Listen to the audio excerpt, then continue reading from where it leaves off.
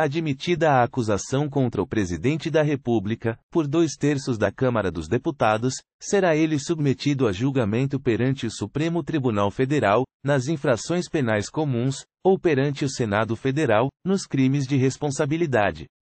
Nesta perspectiva, nos termos do artigo 86 da Constituição Federal, é correto afirmar que o presidente ficará suspenso de suas funções nas infrações penais comuns, se recebida a denúncia ou queixa-crime pelo Supremo Tribunal Federal. Analisando a questão, você responde: verdadeiro ou falso? O gabarito é verdadeiro. Artigo 86. Parágrafo 1 o presidente ficará suspenso de suas funções, inciso 1, nas infrações penais comuns, se recebida a denúncia ou queixa-crime pelo Supremo Tribunal Federal.